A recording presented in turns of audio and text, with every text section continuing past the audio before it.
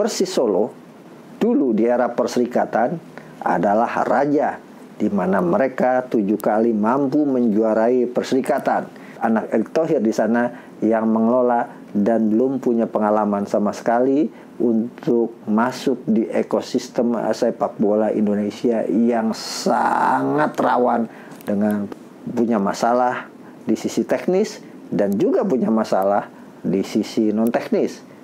Ini yang harus diwanti-wanti Pak Sopati, jangan sampai persis hanya numpang lewat dan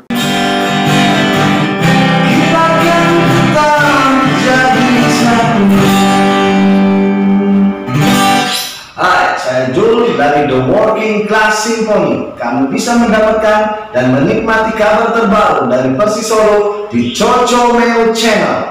So, bangga sambil nyawa, Persis Solo selamanya.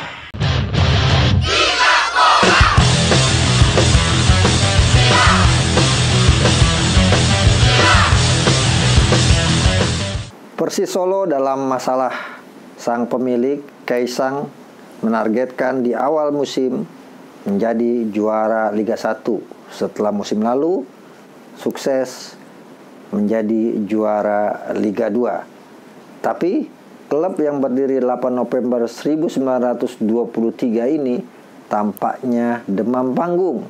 Jangankan mimpi juara, empat kali main, empat kali kalah. Itulah Laskar Samber Nyawa. Persis membuka pertandingan dengan kalah 2-3 dari Dewa United yang juga tim promosi. Kemudian kalah 1-2 dari Persija Jakarta. Kalah 0-2 dari Persikabo Bogor.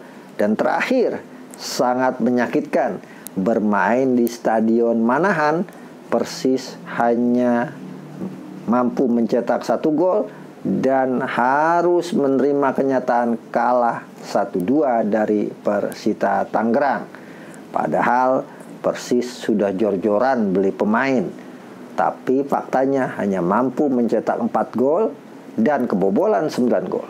Persis saat ini berada di dasar klasemen dengan tanpa meraih satu poin pun dari empat pertandingan yang sudah dijalani. Apakah Persis gugup menghadapi persaingan di Liga 1 yang sangat ketat? Ini yang menarik.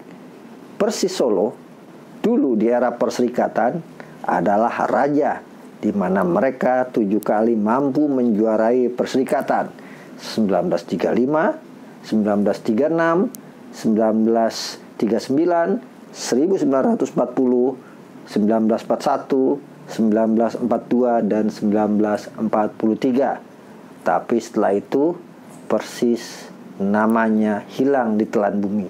Bahkan di pentas Liga Indonesia yang merupakan kompetisi yang menyatukan antara Galatama dan Perserikatan, Persis pun tidak banyak suaranya atau terdengar prestasinya.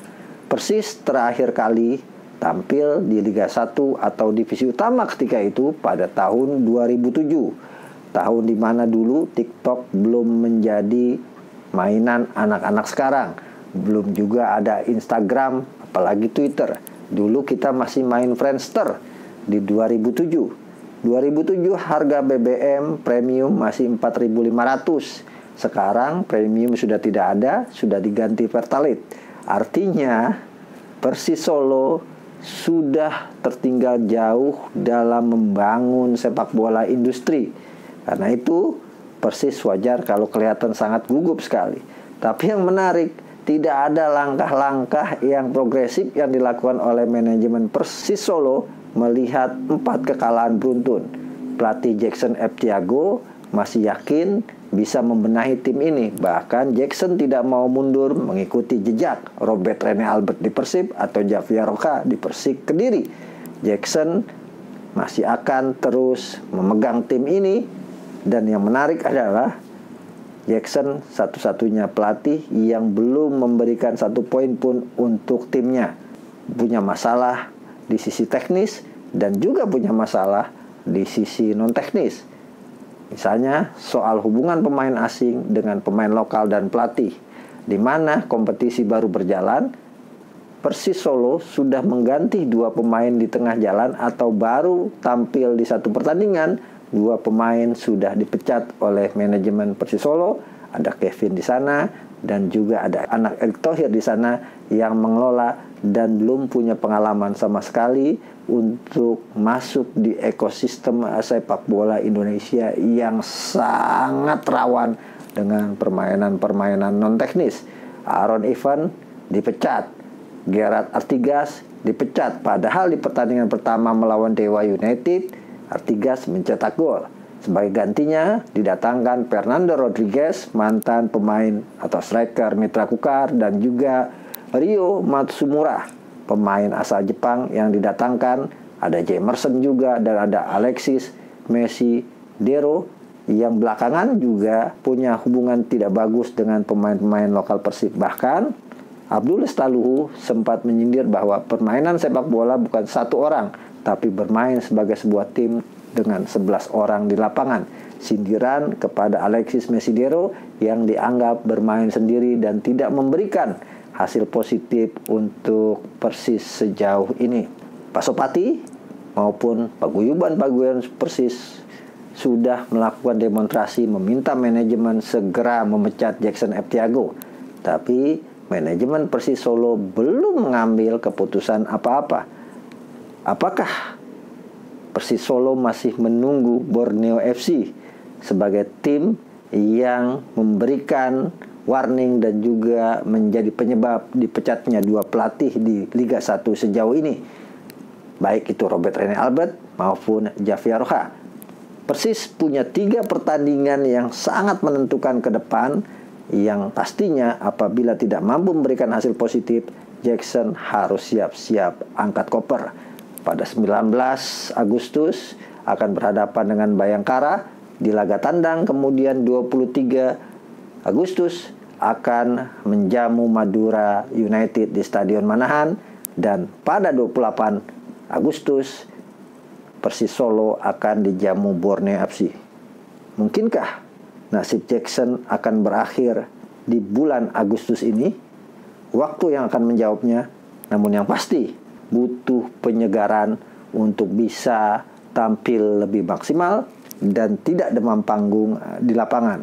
Atau mungkinkah Liga 1 ini Persis Solo hanya numpang lewat seperti tradisi sejauh Liga 1 digulir sejak 2017 bahwa tim promosi selalu ada yang degradasi di akhir musimnya dan itu sudah terjadi setidaknya dari 2007, 2008, 2009 dan musim lalu tentunya.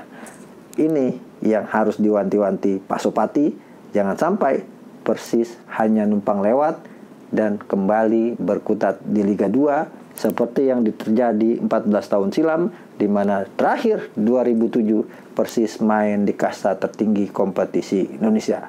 Ayo Pak Sopati, segeralah melakukan evaluasi terhadap perjalanan tim kebanggaan Anda.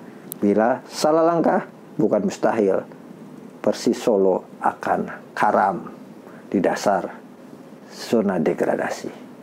Adiós, chochomiocheno.